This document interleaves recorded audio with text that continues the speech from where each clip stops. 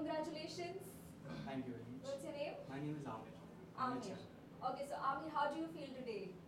Feel great completing my MBA along with such a big university Okay. and getting this convocation and mark sheet with big such reputed people and getting more knowledge Right. beside my education Right. about the experience and the life career. Right. What was the best part of this course, you think? The best part was help from the university, the faculties. Whenever I needed help regarding a lecture or exam, they were very helpful for me. Right.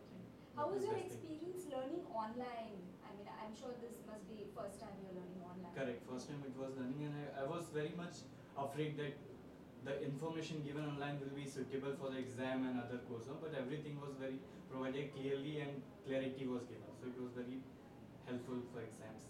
Right. How was your experience overall uh, with Jaro Education? It was very good. Okay. Best of luck for your career. Thank, Thank you you so much.